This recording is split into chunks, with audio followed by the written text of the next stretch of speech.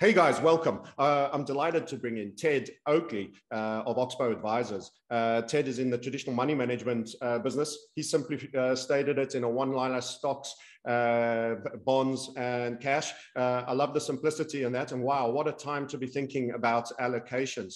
Ted, you're also working out of Austin, Texas in your money management role. Just give anybody, everybody viewing a little bit of backstory in terms of your history and expertise. Well, you know, Francis, I started on Wall Street uh, almost four decades ago, actually four decades ago, and uh, it really hasn't changed a lot up there than what it is now. I got a pretty good taste of it. Came back to Texas. Uh, we had another private company we sold uh, to Paine Webber back in 1983, and then uh, started my own company with a couple of people. And then Oxbow came around about 25 years ago, and we're a money management company, but we uh, we work all over the country, all over you know all over the world really. But we um, we uh, primarily uh, work and do a lot of work with people that have sold companies where they had a liquidity event, and we've written a lot of books, given a lot of speeches about that. But um, but we we we we're really pretty standard looking group actually, but we've got a lot of experience though. Excellent. So you've just cashed out your business and you've got a uh, a few million, uh, Ted's going to be your guy. We've got to get straight to this unbelievable market uh, realm that we're in. Um, we've been uh, we've been a bit fighting the buy the dip brigade, uh, suggesting that a number of the major indices, let's go straight into stock, shall we, uh, appear to be in potential reversal structure. So we're kind of macro technical, and that uh, things like high yield debt are on the verge of potentially spilling again in light of where the Federal Reserve finds itself right now. Um, in terms of just stocks generally, uh, are we in for a bigger fall or should be everyone be buying the dip? What's your take in terms of allocation right now on, I've got a million dollars, where, where do I put it? Well, the thing about the markets right now, Francis, is that, uh, and we have a lot of liquidity in our accounts. All across the board, we probably have 40% uh, liquid right now, in some cases more than that. But the reason being is because things got so extreme in terms of valuations that there was nothing there for us to uh, want to own at the time. And so what we're looking for right now is we think there'll be a continuation of the selling. And it's like most bear markets, you get you you come off you make a low people think ah this is the low this is this is it we're going to turn now. And we've had two or three of these already this year.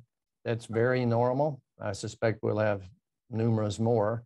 Um, but one of the things we notice francis is that you haven't had any complete you haven't had any capitulation yet. We find very very few people are actually worried about it. I think i don't know if they think the fed's going to rescue them or what but normally, and you got to think about it here, uh, we have all these people in the industry that have been around for, you know, 12 to 14 years. They've never, never seen a bear market, not a true bear market that lasts a long time. You know, we have these situations where the Fed came in and, and helped everybody, but I think that's the difference in here. A lot of people are inexperienced with bear markets.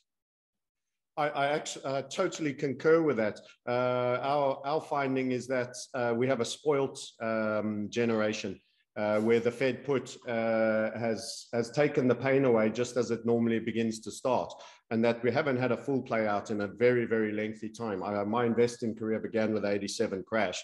Uh, you probably got experience on me, but uh, th- that what that went some way and fell really hard and fast. And of course, there were worse ones before that. Um, and it seems to me also in terms of monetary policy, the, there's a license to break. Uh, in other words, there's all this talk about, you know, uh, stimulus seems to be, even you've got Democrats, you've actually got politicians saying, well, we need to curb inflation. So now even, even politicians that love a little bit of largesse and pork belly to be shared around uh, are now in the in the in the room where they they realize that's an election losing position and they they want to see the Fed be at least somewhat vigilant. How much of it is talk and fluff? How many rates will, cuts will we actually get? And given that they start to materialize and go from possibilities to probabilities to um, certainties, uh, how far do we get on the interest rate hiking cycle? And, uh, and within that, this is a bit of a long form question, forgive me, but I think uh, you'll run with it. Um, how much more sensitive are we to even minor uh, interest rate increases uh, in terms of its knock-on effect on risk? Well, I think, Francis, one of the things that's happening is people don't remember we have 90 trillion in total debt in the US. If you take government, private, corporations, we've never had that much debt before. And so when you have that much debt, it's easy to say we're going to be like the 70s. Well, we're nothing like the 70s in terms of we have so much more debt now, yeah. you know, than we had then. So it, affects every and everybody, you know, all the all these companies and people and everybody has they got debt, you know, a lot of debt. So we think that's one of the problems they'll have. That from our vantage point, there's no way they can ever get to eight or nine moves.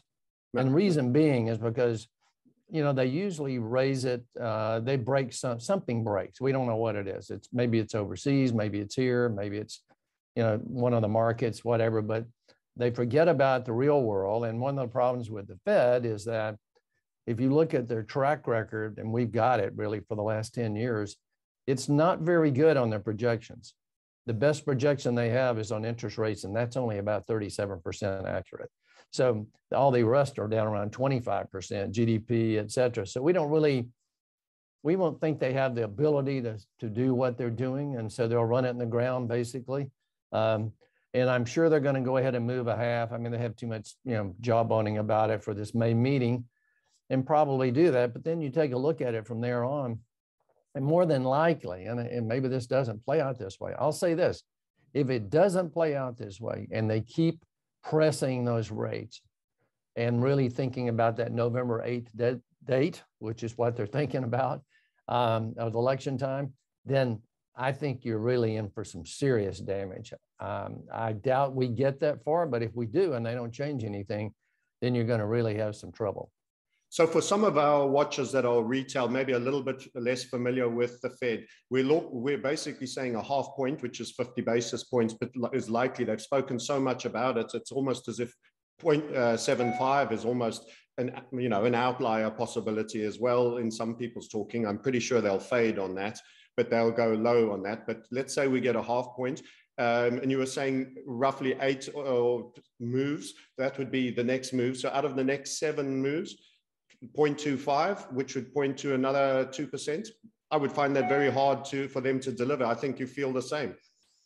Well, I do, Francis, because if you look at it, they've only raised a quarter, but if you look at the bond markets, they've moved eight quarters, they, you know, two points. So uh, that, we think they've built a lot into it already uh, from that standpoint. And you have to remember, you know, from the standpoint, from a banking standpoint, now I'm part of a uh, you know, some uh, private banks. But the, the point about that is that, yes, they get a benefit when rates go up, the banks do. But the flip side of that is the economy slows down and the loans go down. Yeah. So it's not as great as it looks like it is. On that point, apparently uh, there's talk that Amazon, uh, I don't know if they've reported yet or still due to report, but are likely to report a loss for the first time since 2015. Um, some of that's got to do with the rate uh, throwing Rivian in, in the last time, which has now felt fallen on harder times, which would probably see them have to uh, eat some red on that one. But uh, it does also point to uh, uh what Danielle, uh, um, I know a close friend of yours, and what someone we spoke to pointed out that you can essentially have an earnings recession because the consumer is broken already. Totally.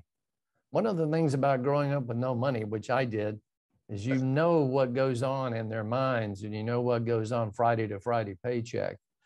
And so uh, I get a pretty good feel for that. I mean, I can talk to people, know where they really, really are. A lot of people on Wall Street, they don't have a clue because they're not out there in the hinterland looking at what's happening. But that's what's, if you look at what's going on with people right now, you look at what, you know, number one, the taxes just came out in most states on homes and they're all up like 25 or 30%. They get hit on that. You yes. know, all of a sudden, you know, you've got a 529, uh, 5.29 uh, 30 year mortgage rate. That that's going to beat that down. You've got that coming. And then profit margins at corporations went in all time high last year, 13.4. They'll never get that high again, in our opinion. We think that's a once in a lifetime move. And so what happens this year is that all that comes in at one time and when it does, you get into a problem with um, the whole thing breaking down. So I, I, I, I think people are not realizing that um, that what's coming at them right now, and they, they, they have this idea that everything will be okay. But it doesn't look like that to us, really. I, love that you brought in housing uh, there, and I'm just uh, sharing the screen now, and I brought in the 30-year fixed rate mortgage chart just for a point of reference, uh, and the the momentum at which rates have changed. It's not just the fact that they're changing, but it's the violence of this. Um, it was our assessment post um, the events of March 2020 that uh, described as the pandemic um, that we actually had a in our view, very early we came in and said, May, we think that's the end for the, the 40 year uh, bull. We were very early and most people disagreed with us. Um, but it was, you mentioned something very early on and you said, we haven't had a final capitulation. We were, you were referring to equities. And for us, yields on debt had a final capitulation during the uh, CV19 uh, period. And the snapback um, that we're now seeing has got that freshness of new trend in the opposite day, your opposite way, um, and that real reversal momentum. And uh, I would just bring a very practical chart to many people. Bond markets, they don't understand them. Debt can be a bit boring, um, but they do understand what they pay in America for their fixed 30-year rates. And seeing this change from you know, essentially we're at a low at 2021 of around uh, 2.64, and you're now 511 and going like a steam train. The knock-on wealth effect of the almost near doubling, 80% increase uh, in uh, payments for purchasing property. There's two great ATMs, I suppose, that uh, American consumers like to withdraw on, and that's against a strong stock portfolio where they have wealth effect and against their homes. Um, how much natural tightening are we seeing just with that reduced wealth effect and the knock-on multipliers like that that are going to see us in our view and i think in yours not see the fed get too much further before we see real real consumer stress? Well you know francis uh, 70% of the mortgages out there are under 4% let's just say they're three and three quarter on average and they're probably less than that actually. So if you think about that that that dramatically slows the mobility of what's going to go on here. Because if I'm going to sell a home with a mortgage that I have that let's say is three and a quarter, and now I'm looking at five and a quarter uh, for a much more expensive home, you can see how that changes the mobility of what's going on, which also people don't realize, you know, housing, 27% of GDP. I yeah. mean, you get it slowing down and you're going to have an impact as it goes along. And I think and what happens is, and again, you know, Wall Street never understands this, but the person out here that's two earner family, you know, living week to week, that sort of thing. When you get a move in gasoline prices and you get a move in mortgage rates and you get a move in food prices, all of a sudden they are saying, hey, you know what? I mean, it just looked recently, Whirlpool came out and said, hey, it's slowing down. They're not buying as many appliances. Yeah. You, you, there, I could give you four or five companies just in the last two weeks that said, hey, and they're right in the middle of this. And they're saying, you know, uh, doesn't look all that good for us for the next, looks like it's going to flatten out here. So I think that's the thing you're going to run into, and people are just not used to that. And I love that you bring in Whirlpool, just in case some of the viewers missed that. It's obviously going to be a key indicator for uh, new home purchases because it's a uti- uh, utility that's got to go into new homes. Uh, so if they're reporting, it's almost a lead indicator on uh, sales numbers dropping uh, in the property market.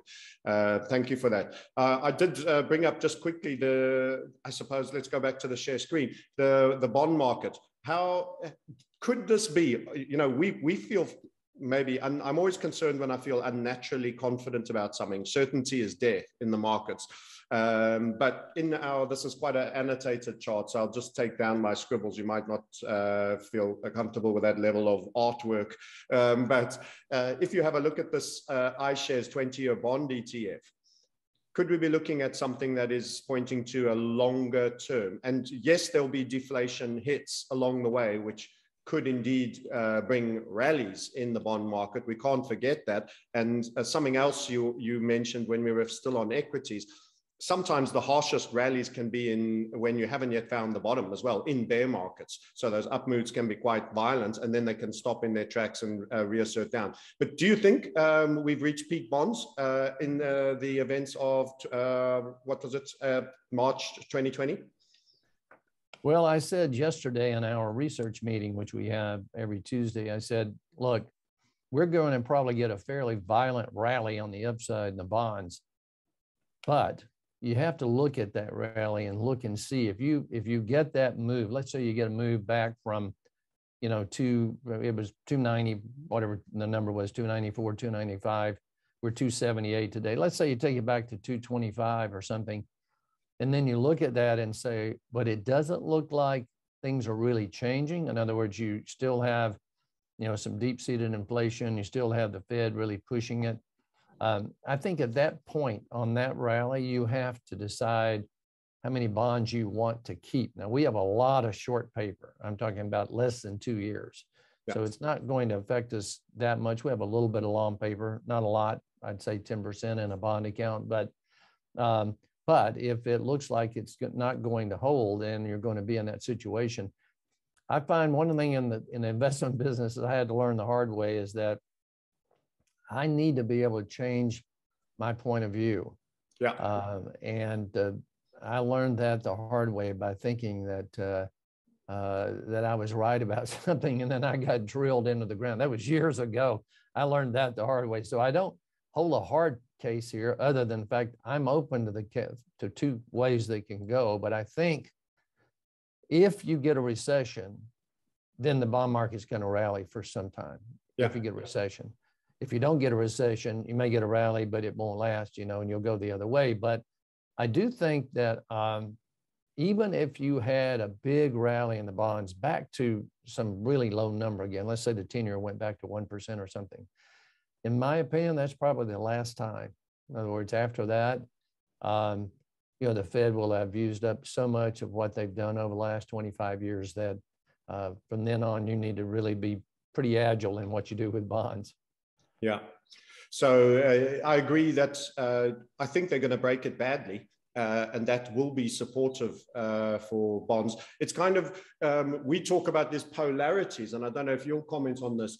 There's the inflation trade, which is short debt, uh, long gold, long all the commodities, which we've largely had play out now, that is probably facing its first corrective um, minor, what I think could be a correction in a rally. However, if we break really badly, as you suggested, you could actually have the, the debt market come back some way.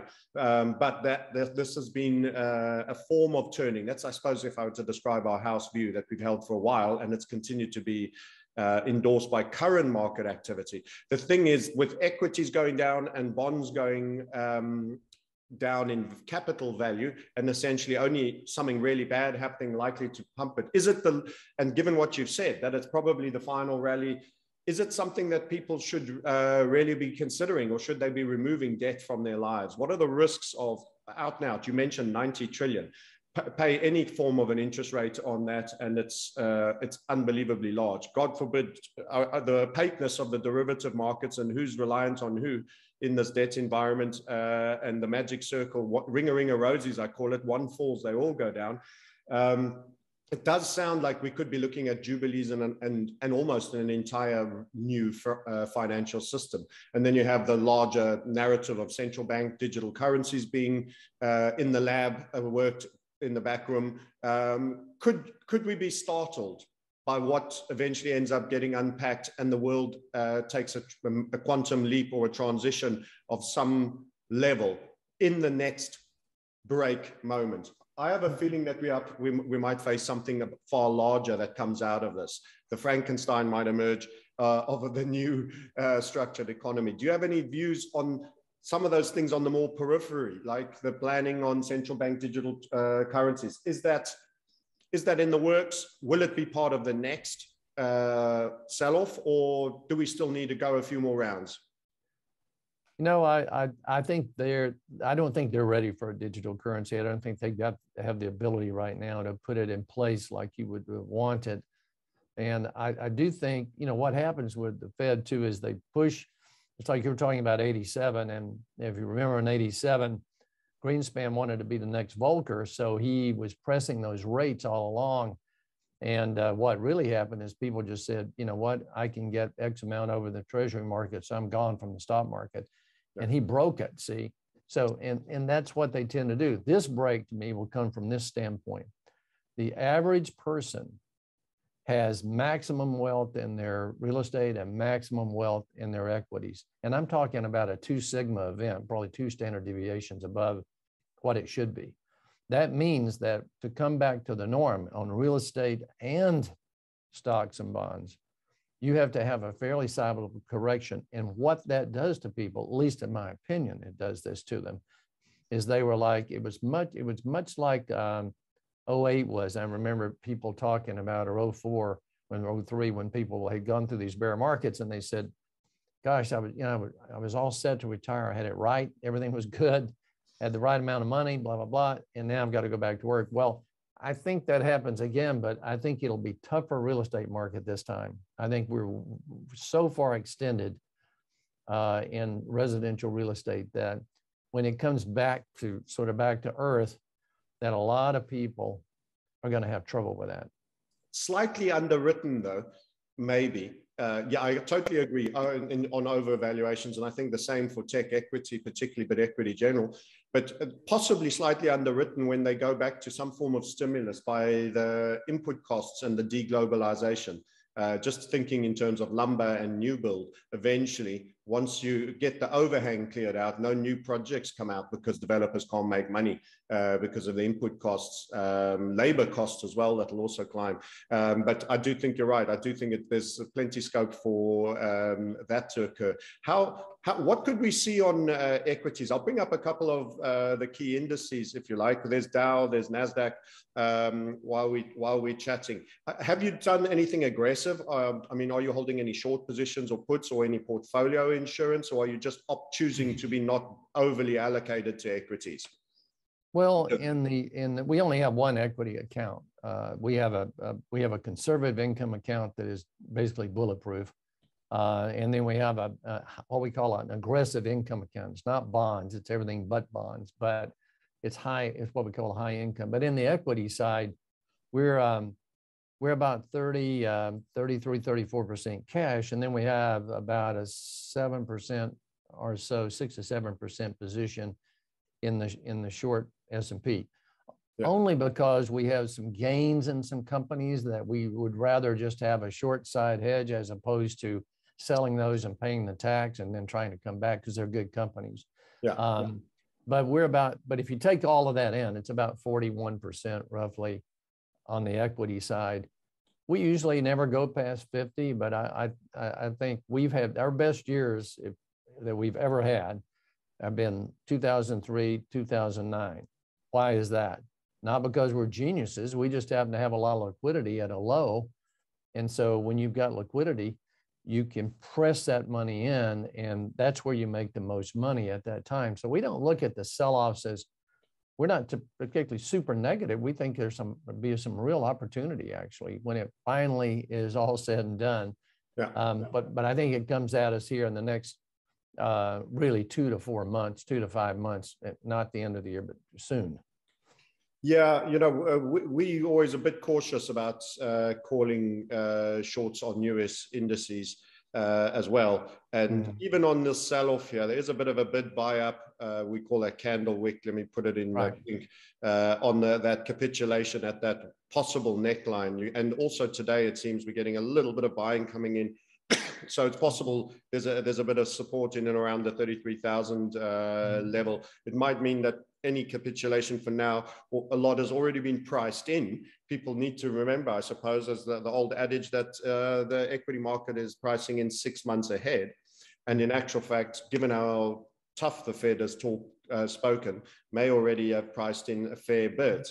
Uh, and if they under deliver on some of that, there may even be some degree of relief rally in terms of people adjusting their models um, to be slightly less uh, bearish on uh, or hawkish on the interest rate side. Um, okay, you mentioned oh, no, uh, well, I was going to say this to you. You had the Dow up there, but if you look at the Dow is sort of a uh, it's sort of camouflaged because uh, it hit a low of you know 32.6 or whatever back in the early part of March. Now, if you take the S&P 500 and New York Stock Exchange, for example, they're right on their low. And so when they break that, um, we think you get a lot more selling. And the same way with the Dow, when you go under that 32.6, all of a sudden people will be like, oh gosh, see the Nasdaq's already done that. Yeah. They're they're lower than they were um, in that March low. So you're right down on those. Anything that goes wrong now will be exaggerated because you're going to be in a situation where everybody that bought stocks the last say 15 months will be underwater. And yeah. so that's where you head from there. So, but if you look at those, and I can't, what you have up there now, I think is the S&P 500, but you see how it's really close to that same spot it was back in yes, March. Yes. And when you break that through that, all of a sudden, then you go in, you, then you're going into a different spot. And I think, I think that's where we are. It may not be today or tomorrow, but I think it's coming. Yes. Uh, I, I, mentioned this with uh, Danielle, and I'm interested in your take too. The, the tendency for equity buybacks by a large amount of the indices. That has also been on borrowed money. Um, and that, of course, reduces the amount of dividends that have to be paid externally to shareholders. Uh, so it was almost deemed that loan equity was cheaper than debt equity for a while. Now we're seeing the swing in um, interest rates.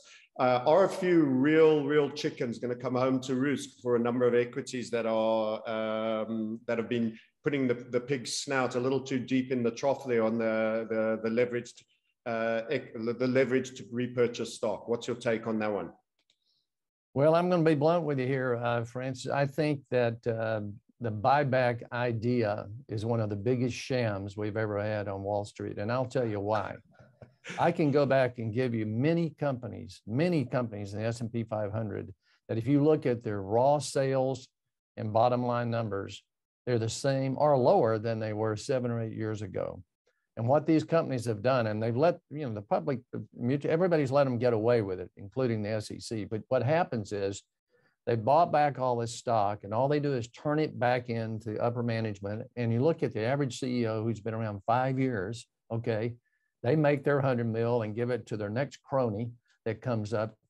And it is one of the worst things that's ever come about because all of a sudden you've taken and you've done this financial engineering yeah. that's ruined what really goes on. You'd never run a private company like that. No, no, no. way. You're not going to take somebody from the outside and say, hey, we'll just let you, we'll just cut down the number of shares so you can get a lot in your pocket.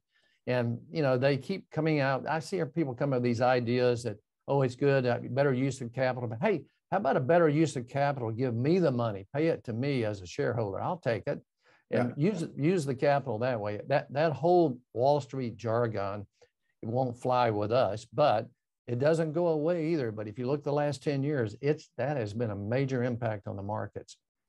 In fact, there's a phrase uh, called a control fraud uh, that you're probably familiar with, where you know management actually has the, the agency problem, as they refer to it, where the, there's more interest in self-enrichment than the interests of the company.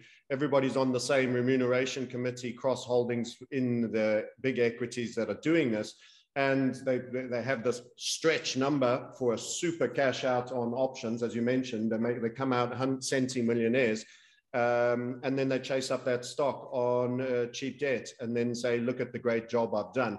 Um, there's a guy called Simon Black that was comparing Coca Cola of 10 or 12 years ago with Coca Cola today. And on every single metrics, it was significantly worse. Much higher debt, lower earnings, lower growth rates, lower general turnover, uh, higher cost. Um, and it was about 3x uh, the share price. And, and this is just financial engineering. And uh, it does feel that this is the it's coming close to a debt reckoning on so many levels not just the consumer right. who's facing uh, uh, daniel mentioned that people are extending mortgages on this rate so that they can get a little bit of extra cash and that the, the effective rate that they're paying is 22% because they're going from their three and a half four percent fixed to refi at five um, just to get that extra 10% uh, of cash. Uh, people are using credit cards at 16%.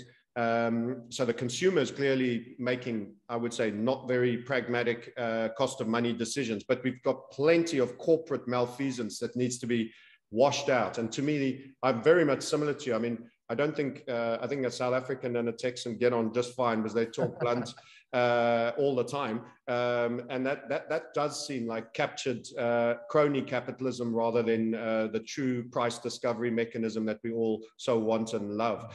Do you have any uh, pet favorites in that? Any, uh, maybe as your company would not be the shorting variety, but who would you say is the biggest sinners? Um, who, who do you who do you get a twitch, a nervous twitch every time you see their stockist symbol come up for those kind of um, uh, misbehaviors, or would you rather not say? I don't want to put you, you under well, any pressure.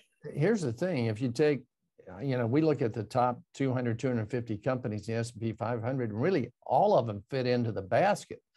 Yeah. And the, the other thing that bothers us about that, people probably don't realize this, but the average director gets just a little less than 300 grand a year for making whatever meetings I make plus some stock. And naturally, they're going to be on the comp committee or whatever committee they're going to do whatever they're told. And so you see, it's a racket. and that's why we've gotten into here.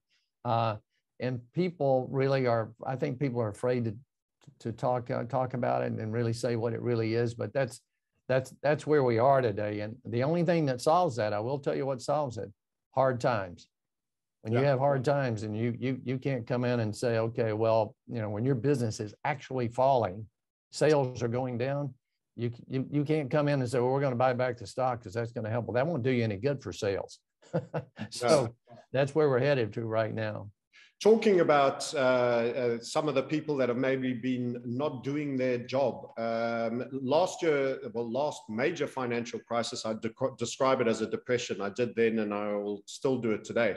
But the, what's known as the, the Great Recession, the GFC, uh, which is code for not wanting to admit it was a depression until it's long gone history, uh, in my opinion. Um, we had uh, ratings agencies that were very much not doing their job in terms of collateralized debt obligations in the subprime era. Um, are they doing their job on the true value? Because this is HYG, which is junk. Uh, and we have a pensions crisis, we have a boomer demographic, and we have a lot of companies uh, and almost a huge shelf that are just above the, the debt ratings. Are they doing their job? Should not some of that uh, already be falling into the debt pile? Is it to sustain the system at the cost of actually doing what they were there to do? Well, uh, you know, there used to be an old show on called Truth or Consequences. And uh, one of the things I found is that if you look at HYG or you look at JNK and you go in and look, we would never we would never own them. But yeah. if you go, we own straight bonds, we never own an ETF. But if you look at the if you look at the bonds inside, um, almost 30% of those or a third of those, they don't trade. They never trade. You can imagine if everybody showed up and said, I want to get liquid today in HYG. Yeah. Where do we go from there? You know, and right now, yeah, they've had some selling, but they could get some serious selling if the companies come unwound on you because some of those bonds won't trade. And yeah. uh, you know you can't get a bid for them so we haven't gotten to that point yet. That's what we keep coming out we've gotten some selling and they're down for the year et cetera but but i we have not seen the point to where people you know they've had people have had two or three really good years. And so they're like well you know i can be down some but let them get down 30 or 40 it's a different tune. Yeah um, so I, I, I think what you're saying is quite accurate. People always think market price is a guide for what they'll get out for. Um, until you test the liquidity and it's vaporware. It's almost you can almost have these minor altcoin uh, crypto market event, uh, similarities in some of these debt markets on just a slightly more scaled version thereof uh, if a whole bunch of people try to hit the exit at the cinema as someone screams fire at the same time. There's actually been quite a long, lengthy delay between the volatility on the bond market and the debt markets and that coming through on equities. In fact, I did a chart, I might still have it here. It seems equities didn't want to believe um, that that was the case. Um, and let's just see if we got that. There was on the, uh, I was looking at the market, yeah. Uh, sorry, it's too far back. I'll leave it for now. But it was there was quite a credibility gap in terms of the volatility, and it seems that the, the equity volatility has only really kind of got started, while the bond volatility is deep into um, you know quite quite a high level that hasn't been seen in a while. So does this not also point to just uh, further risk uh, onto the downside on the, the equity side? There should be some closing of the gap, maybe. Well, I think, Francis, it does catch up. Uh, you know, one of the things we find right now is that, and, and that's why I was saying, you haven't had people get scared enough to say, just sell it, I want out, you know, you're getting, you're getting some selling, but you're not getting the kind, what, what you look for, you know, look at it this way. Last Thursday or Friday was the first day the put call ratio had gone over hundred. Uh, and, and that's, um, you know, and that's after the selling, everything went on. And normally that that's just the beginning of people starting to get worried a little bit. But after that, after you see them worried for a month or two, then it starts to show up in the pricing. And that's why I was saying, if you look at these averages that you've had up there, and they're right on those levels of, of, of where you break it from there, and all of a sudden you get a full whole new wave of selling because I, I looked, you know, last year you had more money come in according to Bloomberg uh, that came in the equity markets than the whole 19 years prior to that. That was a Bloomberg article that came out here a few months ago. Yeah. That being the case, that means at this stage right now, everybody that bought last year is losing money. so we'll see how long they can take it. But normally, you know, average person can't take it because they don't have any liquidity. They can't stand it. Yeah, I absolutely agree and concur with that. Um, I'm going to take you into maybe a few areas you weren't so comfortable with, but I think you will still have a very interesting view. Um, I was kind of curious on um, the dollar. We feel the dollar's got more to go. Um, it's had an unbelievable run, but I think it's going to shock people with how sustained uh, how sustained it is. And we feel that in the dollar index, believe it or not, and in fact we've been saying this for a long time, so it's less laughable now than it uh, has been. But we feel 111 will run um, and that there's kind of um, there's uh, there's kind of a uh, for one of a better word a dollar shortage internationally and there's huge problems coming in as a result of the yen uh, capitulation that's rolling into the korean won and uh, there's going to be competitive devaluation there in Asia uh, because China's been actually trying to kill its property problem. So the, the yuan has started to actually soften. Um, and that actually the, one of the most uh, interesting markets, although it's not in your asset management, but may have knock-on effects for your um, money management portfolios, is uh, a, a, period of relative dollar strength to other in this fear period. I started to discuss the inflation, where it's essentially short debt and long the commodities, which is now essentially probably facing a bit of a rest. But the fear side, we're going to pivot between the two until the stimulus comes back in, then we're back on the inflation side. Um, the fear side seems to lean on a strong uh, dollar. Uh, some will go into treasuries to stop the capitulation, but I think not to the same levels as before. Um, and some might just go into other dollar based assets like cash. Um, and uh, I, I'm trying to think what else goes up in this fear period. And I think a lot of it will be carried in the currencies and a lot of offshore investment might be being pulled out because this, when we see the Korean won, for example, losing and it's just crossed a critical level that it hasn't done a long time, we see the Kospi selling off. So that points to sort of um, maybe American holders of cash repatriating. When there's fear, it seems everything comes home to America um, for that international uh, investor. If we were to get a sustained period of strength uh, taking you through triple one and beyond on the dollar index, um, what's the world look like for those equity markets? It smells of a fear trade uh, for me. Um, that probably points to a lot of things off, but not to put words in your mouth. How does how does the world look at a dollar index of triple one? You're talking about a euro crash, a yen crash further, uh, euro possibly running parity is, is in our house view, uh, yen going through 136 into heading for 140s, that kind of a world. Do you, uh, in terms of that big FX and debt market, what does it look like for equities, bonds, uh, and your clients? Well, I think from the standpoint of the dollar, I, you know, there's two different schools of thought on it. And some people think that, you know, for example, with Russia saying, hey, if we're going to sell you gas, you got to pay for it in rubles, you can't pay for it in dollars and that sort of, there's all of that going on too. However, when you get right down to it, uh, there's only, you know, when things get like they are now, uh, you can say what you want to about the dollar and yeah, we have troubles in the US, but the main point is, is that when times are like they are now, they have to go to a currency that they can trust for the time being. That doesn't mean long-term it'll be the greatest thing ever, but I think in the, when I say the short run, a year or two, you're, you have to feel like the dollar. Think about it. You know, the yuan is only three percent of, you know, three three percent of currency reserves. They're nothing. And then you've got these other currencies breaking down on you and the small currencies for sure. And I think people, I think the only drawback for the dollar has been maybe the fact that uh, when they seized um, you know, the, the reserves for Russia, made people think, well, I, I'm surprised they can take my money. I don't think that'll have a long-term effect because I think people will still look to say, okay, what, which currency can I be safe in right here? Because if everything falls apart, who has the capacity really to keep their currency intact? And that's why the dollar uh, comes out in that sort of look. Now, we don't own, uh, we don't own anything in Europe. Certainly don't own anything in China. China looks lower to us too as well. And so uh, we're, we're sort of not in, in that, that look. Um, we used to own, uh, for a few years, we owned some uh, Australian bonds. We don't own that now either. So uh, we're, we, we feel like that will keep the dollar okay from the, you know, for the time being.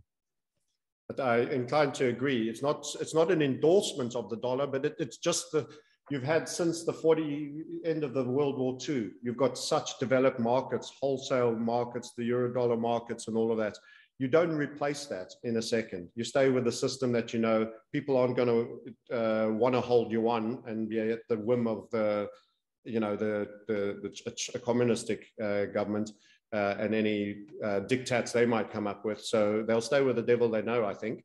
Um, which which is which is certainly interesting. Um, I I uh, had a little look at um, Russia, is, is, just internationalizing a bit. I looked at JP Morgan's Russia fund um, and it fell off a cliff. And the PEs on Russia for energies are ridiculously low.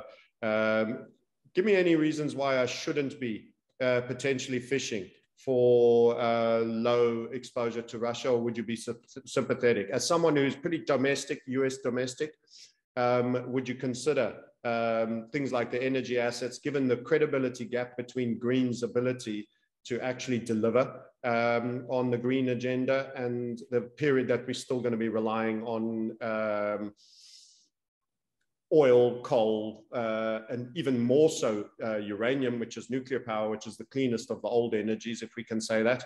Um, what's your take uh, on an international look like that uh, on Russia?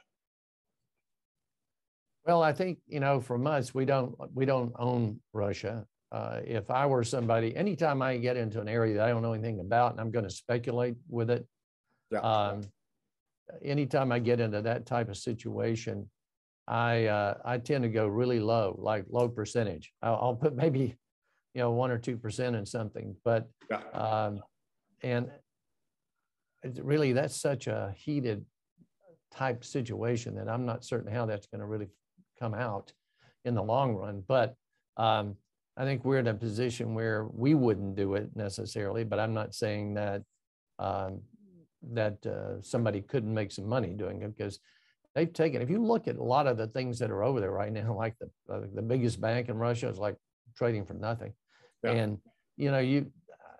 I would say if uh, it's not something we do, it's not our expertise, so I, I can't comment too much on it other than the fact that if I were doing it, it would be for a real small percentage. Yeah, uh, good money management and all of that's uh, taken, and that's very sound comment. Um, which who do you think is are your bulletproof stocks? Uh, I can pull them up for you if you like. Uh, I won't put you on the spot on who the dogs are, but uh, who do you, who do you like to hold that's defensive in the kind of climate that we're facing? So we're talking about earnings recessions. Mm-hmm. highly defensive. Are you are, are you going to have utilities in there? Um, where where are you going to be? Uh, what, what's a, a core holding that you like? Well, uh, I'll, I'll, just give you some names that we, and we have, I'm going to break it down so you see kind of what we have. But if you look at the most conservative portfolio we have, most of the, most of our, um, most of our maturities in there are less than 48 months. Now, what we found recently though, is that um, in the muni market at two year and three year paper and, and even the treasuries, they're so much higher than they were two years ago that we're really getting some nice rates there. Also in that account, we own uh, about 6% in gold. Uh, I was going to ask about that. That's fascinating. So you yeah. you are going for the portfolio insurance of gold, which could, of course, sell off in a deflationary environment, but is quite likely to make it back up on the longer term. I think people have gotten frustrated with it um, because it keeps going between, you know, uh, 1900 or 1910 and up around 1980, 1990. And so they're like frustrated with the pricing. Um, uh, but eventually we think it comes around. Now on the on the, the, the, on the things that we really like though, we like the miners and we like particularly like uh, we like the situations where we can get uh, we can we can we basically get royalties. Like if you look at Franco Nevada, we own um, on the oil royalty side, we own uh, Brigham Minerals. Uh, there's two or three of those you could own. That's what we own. Um, we own uh, some fertilizer. We own a lot of different things in that game, but we also own, like for example, we own a NextEra utility, but we own the convertible preferred. And it's the best of both worlds. We get a lot of, we get a higher dividend than we would in the common, but we can convert it into the common. And it just sold off the last three or four days because um, basically some solar panels and things like that that were coming from China are coming coming in, not necessarily from China, but they're coming in, they're slowing down as yeah. far as them to get the panels themselves. We, we like that type of thing. If you look, we, we like the REITs. People don't realize that real estate investment trusts, if they're run correctly, are fairly decent inflation hedges, oh, unlike yeah. a bond. Because if I own a piece of real estate, I can raise the rent, yeah. and, I, and I will. And so it may affect them for a while, and people will sell sell them off. But you know, we own if you if you look at um, you know, uh, it, it, we, we own, you know, two or three different uh, medical REITs.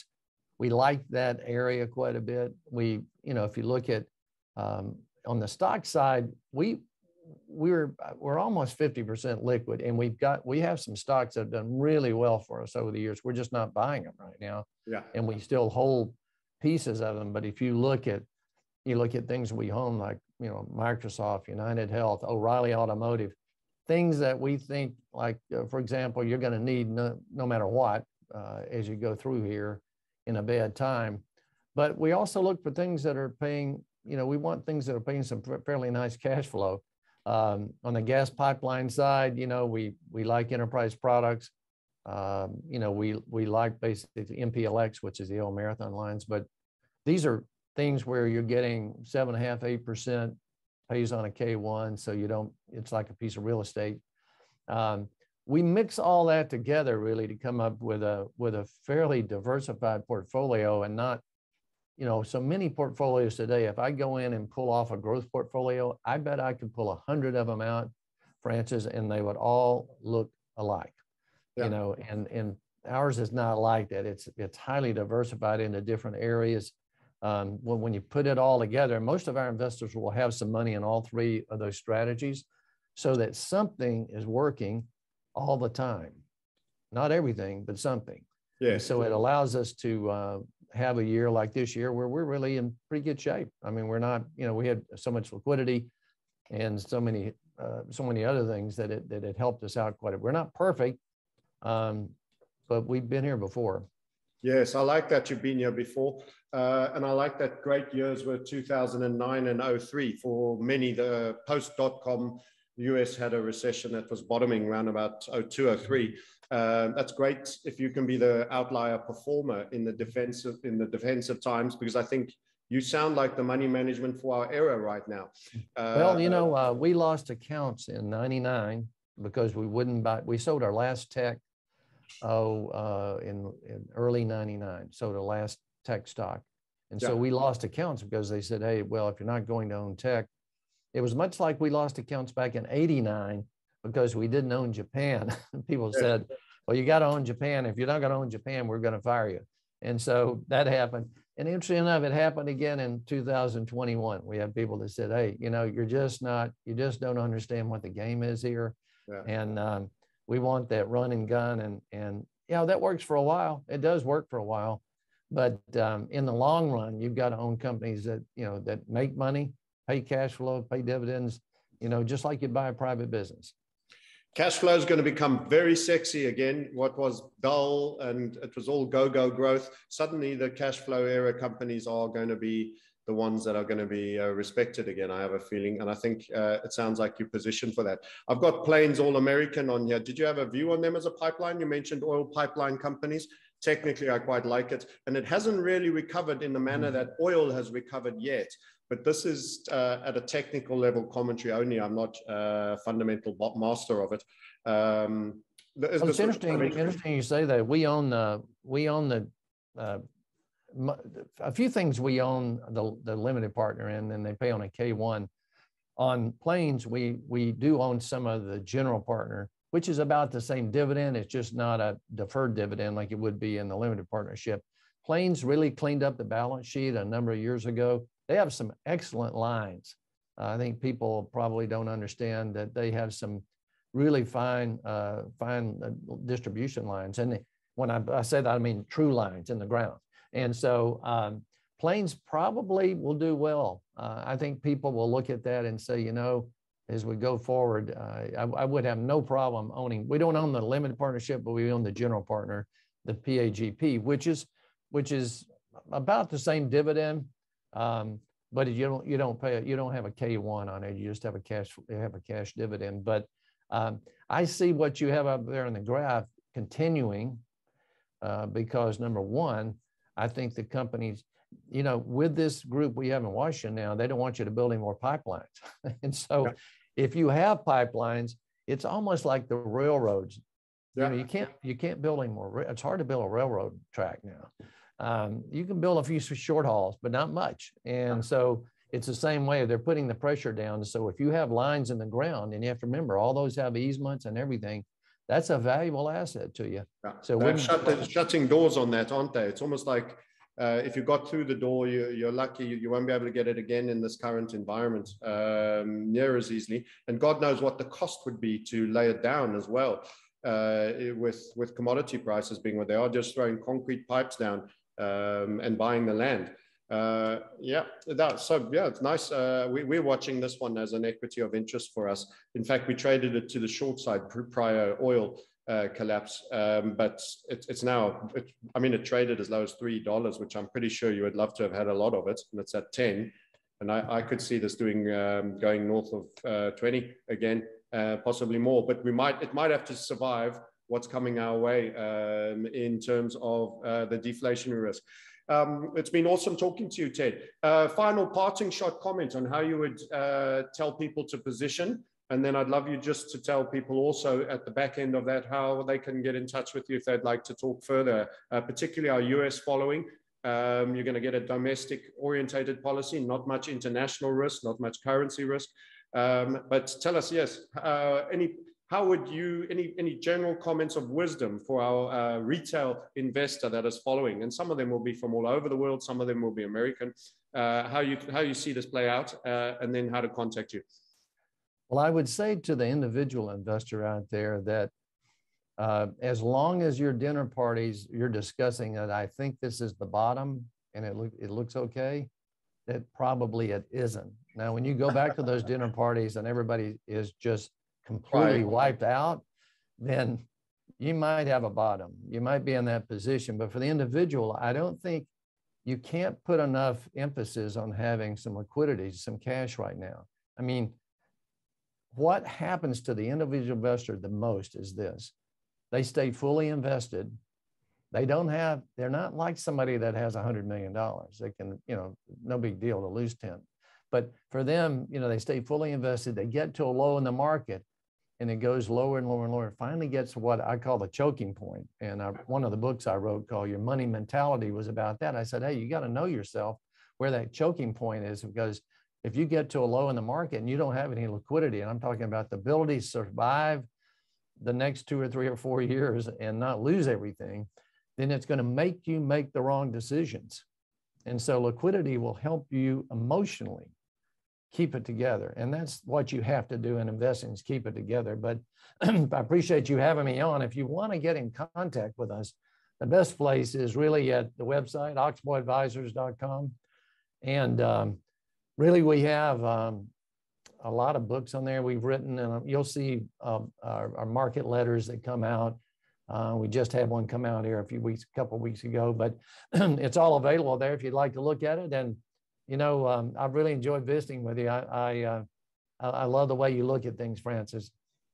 Thank you, Ted. It's very kind. Uh, cash is king. Uh, when we're in a falling market, those opportunities will come. Wait for one more cycle of pain. Some really sound, sound uh, investment advice from a man who's been there in the trenches for many a decade. Ted Oakley uh, of Oakley, uh, my apologies, of uh, Oxbow Advisors. Thank you so much for coming on. Um, and I'll, I'll I'll uh, look forward to tweeting this out uh, as well uh, so that all your followers can get your latest view.